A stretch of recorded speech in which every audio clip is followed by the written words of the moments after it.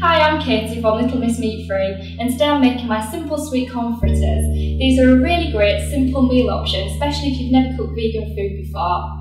So we're starting with 100 grams of plain white flour and to that I'm going to add a tablespoon of baking powder. It seems like a lot but you need it for the rise because it doesn't have eggs in. That just goes into there. And to that I'm going to add a teaspoon of dried parsley and half a teaspoon of salt which just lifts the flavour. You just want to stir that together until it's combined fully. Okay, now I'm going to add about 120 millilitres of cold water just to mix. And it becomes quite a smooth paste when you do this. And that's when you know you've got it right.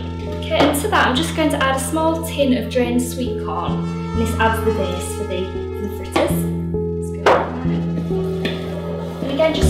in and make sure that all the corn is, is coated evenly, as much as you can. So I've heated some sunflower oil, it's about four tablespoons in the pan. So I'm just going to put about a tablespoon each there for each fritter. Just goes in. You can probably get about three or four in the pan. You don't want to put too many in so they all join together, unless you want a sweet corn cake. These are just small fritters, so they're going to go in there. And it's usually about two to three minutes on each side over a medium to high heat. And you'll notice that browning and crisping up. Just going to make a small tomato salsa to go with that, just add a bit of extra flavour. So you want about five cherry tomatoes, just chopped, just quartered basically. Okay, they're going to go in there. I'm just going to add a little bit of cucumber, just a small amount, just to add a bit of flavour and texture in that salsa.